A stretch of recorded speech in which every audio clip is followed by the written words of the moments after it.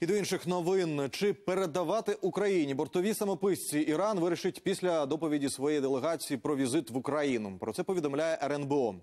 Напередодні секретар ради нацбезпеки Олексій Данілов зустрівся з іранським уповноваженим з розслідування авіакатастрофи.